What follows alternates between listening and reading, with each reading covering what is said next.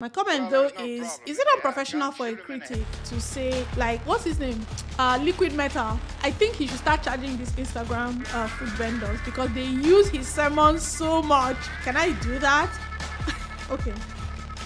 Let me just move on from there. All I'm going to say is that I don't know why they decided to Oloture this child.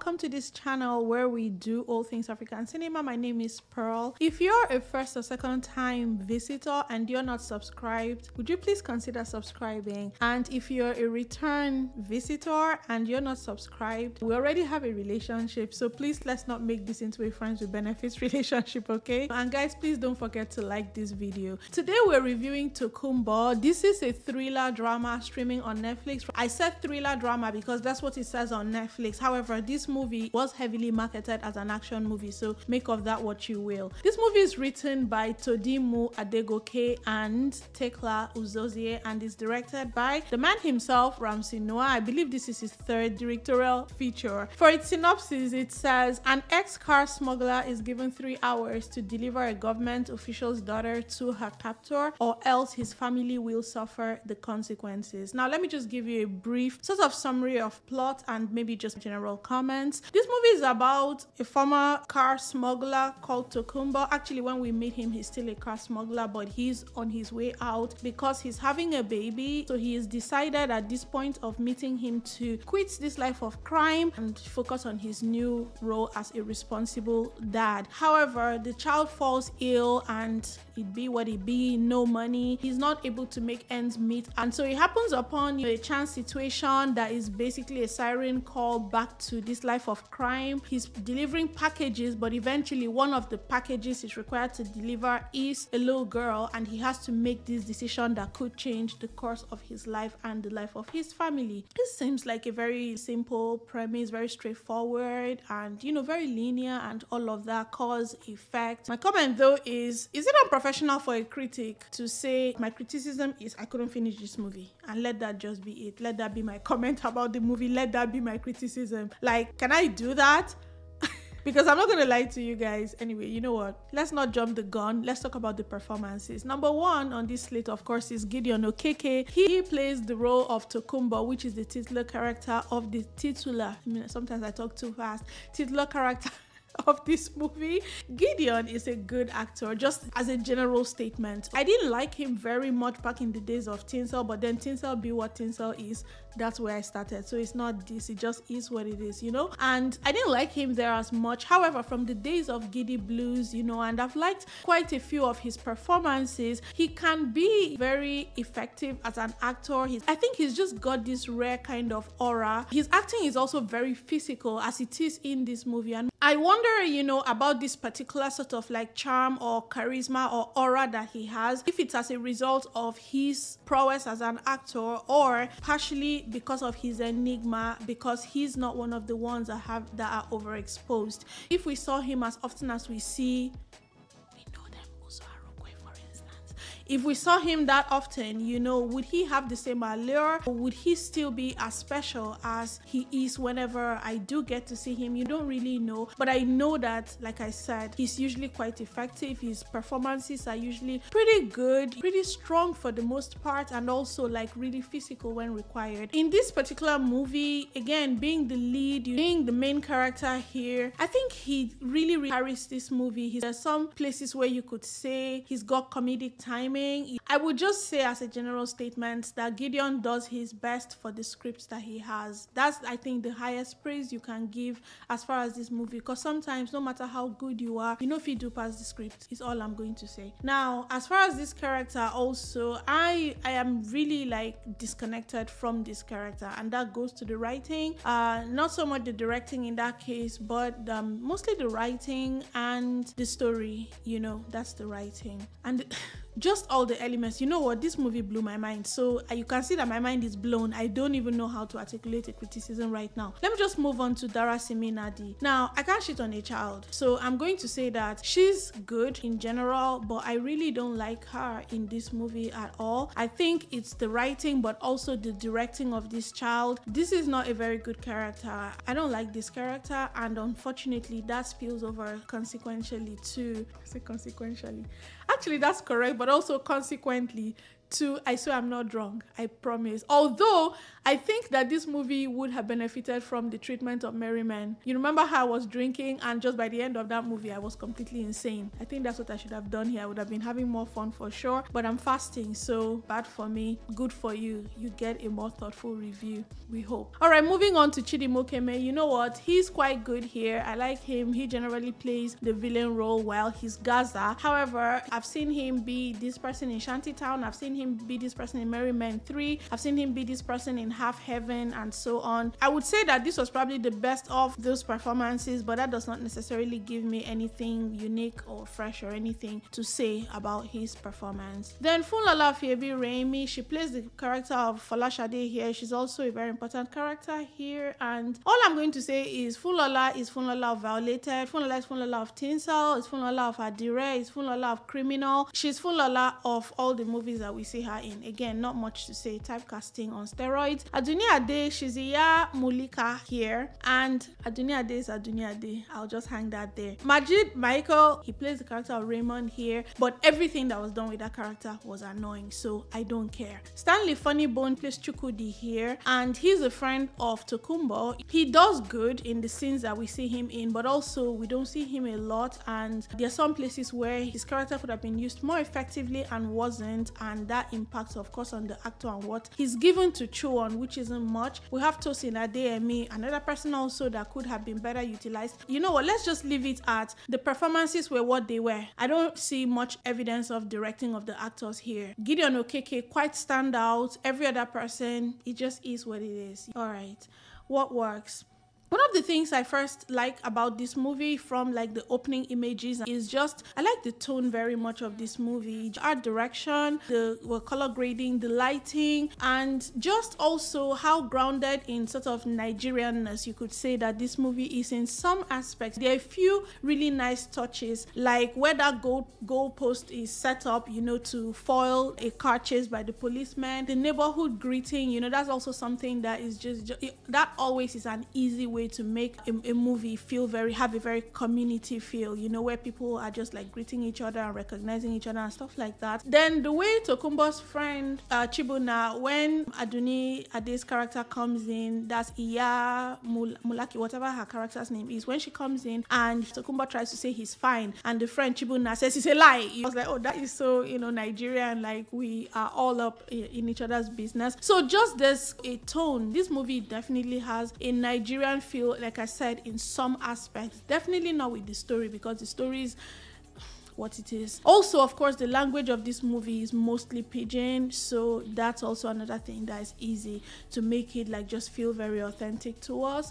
And then, of course, I would say that the makeup tried, you know, Adunni's makeup, uh, yeah, somebody tried, yeah, Mulika. And then, of course, the stop of uh, the amputee, I thought that that also looked pretty good. And then the costume is mostly okay. This is not a movie that requires much by way of costume. However, the way Funlola and Norbert Young are stuffed into their costumes. That dress that Funlola wore, she was bursting out of it. When I saw Norbert Young, I was like, oh my god it was a lot. I already talked about the lighting and the color grading, but let me just specify also just there's this play of light and shadow in many of the scenes, especially in the beginning, that's really, really well done. And just all these use of golden tones with the night lights and all of that is quite good. There's also, you know, a lot of shiny bodies and sweating, which in this case is a good mechanism for storytelling in the way that it immerses you in sort of like the, the way you can feel like the ambient temperature, but also the internal sort of conflict or panic or restlessness or whatever in a particular scenario. However, this is not consistent.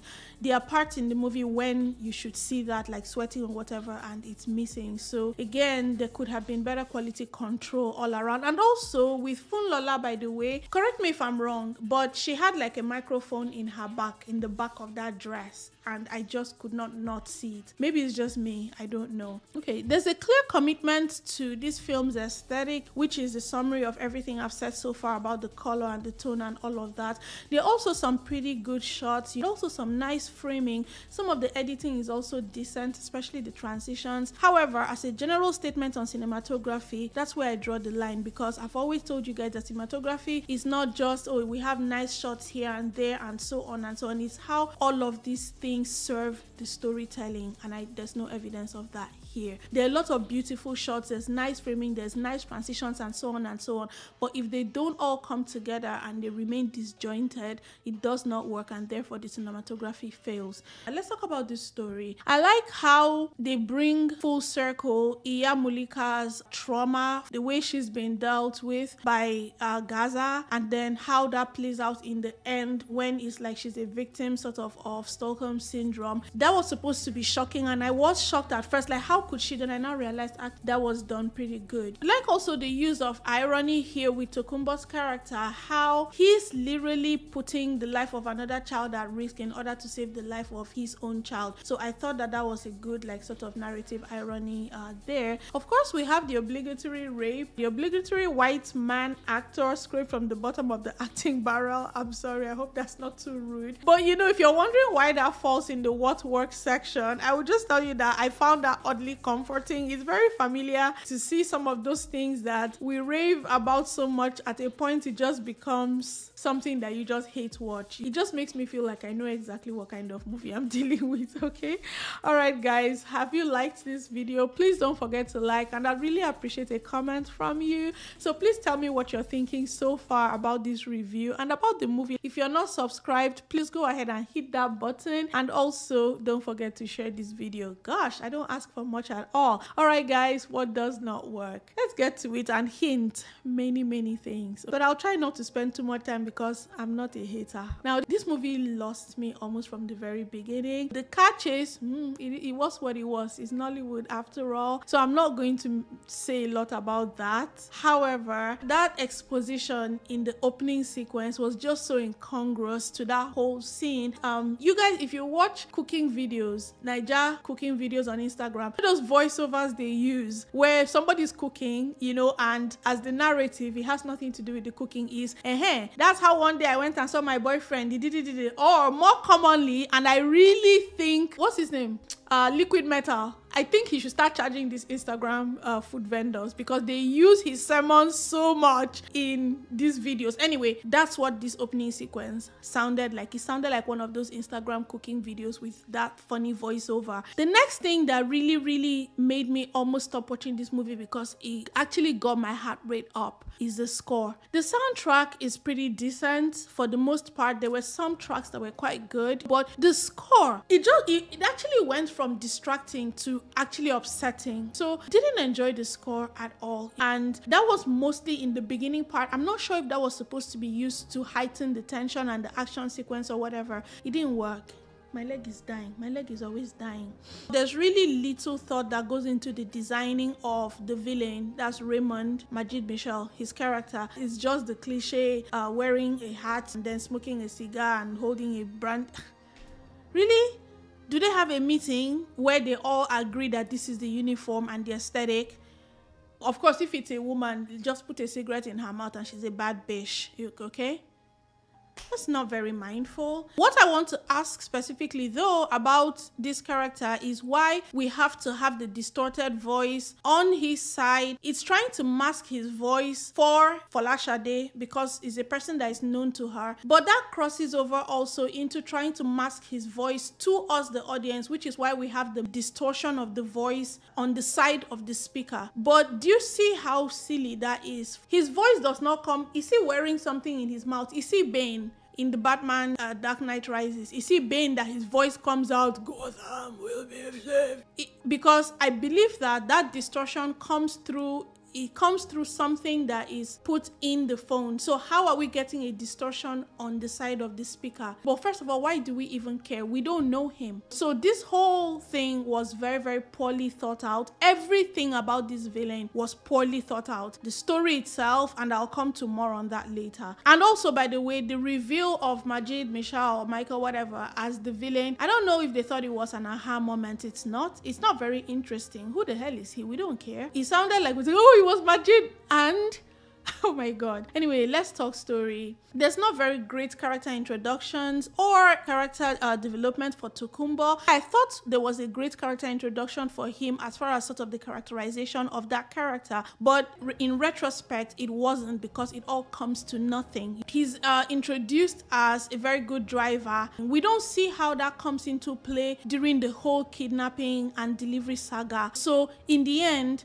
it doesn't matter that he's a Formula One style driver. And then for the longest time, I have no idea who I'm dealing with as far as this character. So I feel very disconnected to this Tokunbo character. It doesn't help also that there's no defining of the values of this character, but also just the characters in general. In order, you know, to know when they go against their values, I would say that the character that got the, got the best, probably character development, is Gaza because at least he has shown what he can do, what he's willing to do. So at least, you know, you know exactly where you stand stand with this person but every other person is ambiguous and that doesn't make for very interesting uh, viewing. I'm sorry. And so for instance we assume that tokunbo is a good guy. It seems like he's being presented to us as a good guy with values but he's been a smuggler right? And then now he's pretending to be shocked that what he's delivering is drugs. What do you think you're delivering in small packages and being paid hundreds of thousands of naira? And then of course potentially he's a child abductor but again we don't know his values so we don't know whether this is something that he would do, whether or not his child was at the point of death, you know. And then, of course, we have his friend who, when he's established, he sort of has an aura of honesty and respectability around him, you know. And so, in order to decommission him, we just have him ask no questions. He literally sees his friend logging a child. It's normal to just see your friend logging a child over the shoulder, a strange child for that matter. And then also, this friend, he could have been played to be sort of conflicted when he has to implicate his friend to the police. However, they decide to play that for cheap laughs.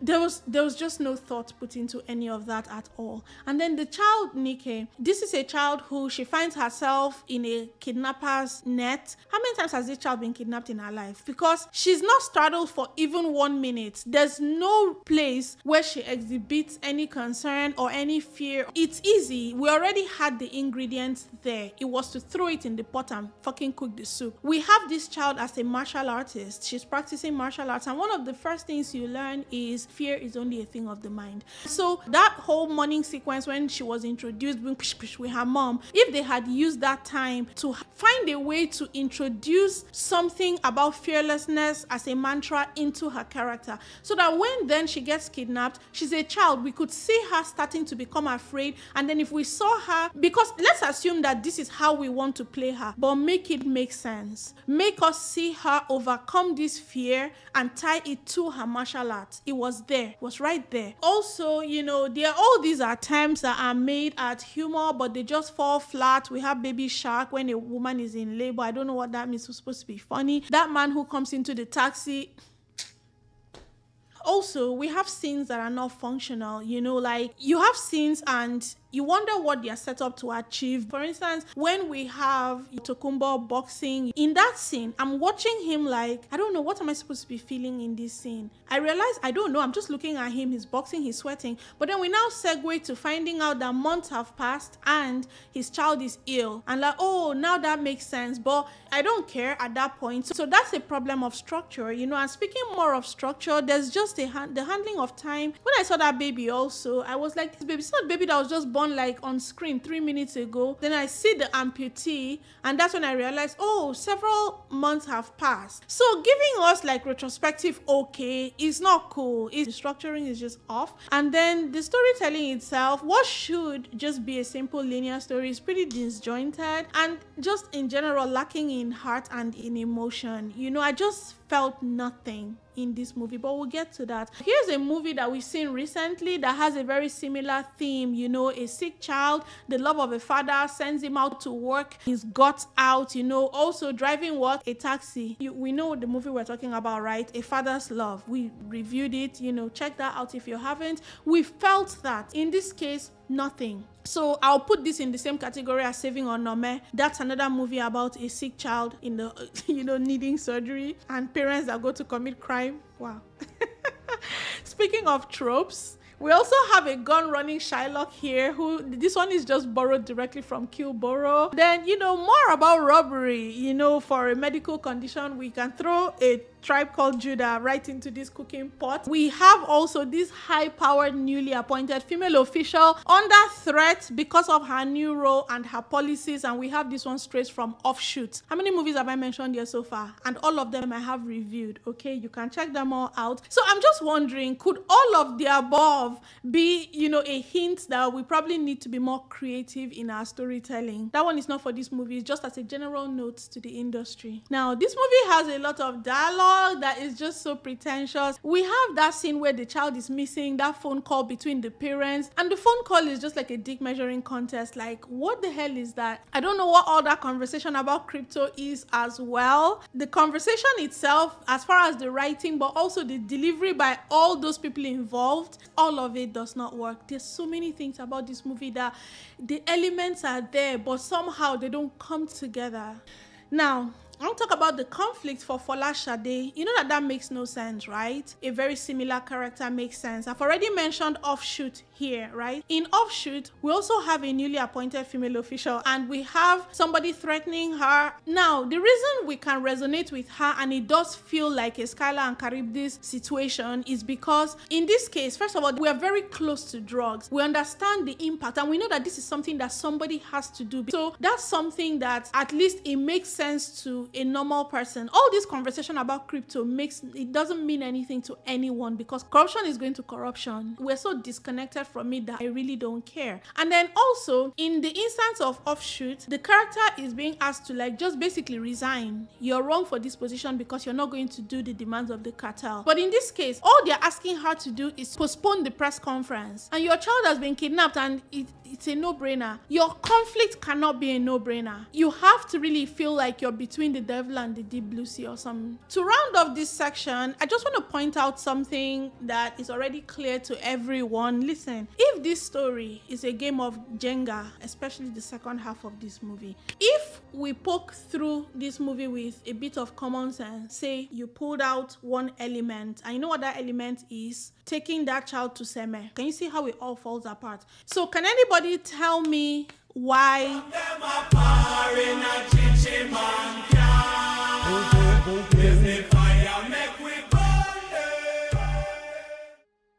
Can anybody tell me what was the point of this sojourn or whatever it is to Seme? Why this child had to be taken to Seme? I'll tell you what. It was to give Tokunbo something to do. Because this movie came away from being about him to being about Folashade and Raymond. But they didn't know what to do with him because he's been introduced to us as the main character. And they have to find a way to somehow tie him to this other story that has nothing to do with an ex smuggler trying to make a life. So, in order to keep this, you get him to pick up a child, but you're too lazy to create complications on. There are a million things that could go wrong with a kidnapping. But the writers are like, well, mm, cannot be stressed. So instead, let's just make it, let's just have him carrying the child to Seme for what? You know why this doesn't work? This kidnapping is positioned to achieve a very specific objective or end goal, and that's to get her to back down on a policy. Not, in fact, not even that. That ask is too much. Like I said, is to cancel a press conference, right? Or to postpone a press conference. There's no hint of malice from Raymond, right? There's no indication that there's anything malicious towards Folashade where he wants to do her long term irreparable harm. We don't know that he wants to kill her child. What do you think would happen to a child that is taken to Seme? I know that there was a statement there somewhere when Tokunbo reports about the police and he's like, oh, it took you long enough to figure out something like that, almost as though he asked him to take the child to Seme, but counted on the fact that he would not be able to do it. What?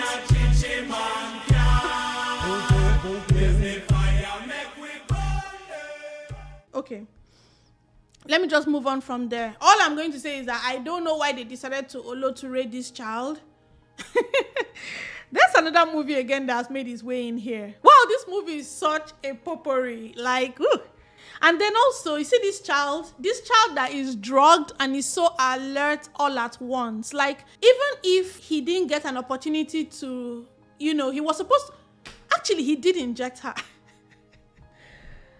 And these things are such an easy fix, right? Like all that needed to happen there was to create a set of circumstances that made it impossible for him to inject her the thing at the time when he was supposed to, so that that way she would become fully alert and it would make sense. Okay. Final thing, I don't know what I'm supposed to feel about that ending. I don't know if that's supposed to be some kind of redemption arc for our hero. Is it like the child just told the mom, I know he looks like a bad guy, but really he's a nice guy. You know, that day he kidnapped me, we bonded. I don't know. But, you know, if you like happy endings, take it. I'm not going to fight you on that. So in conclusion, I'm just going to say, guys, that this movie is a drag. What should have been a simple plot, but just really, really all around poorly executed. What's funny is that this story is actually like really a tried and tested and trusted recipe. But then this just adds nothing, you know, except for a whole lot of just confusion and bafflement. The story is inchoate, okay? In order for this movie to work, here are some things that we're supposed to care about. We're supposed to care about Tokunbo's financial state.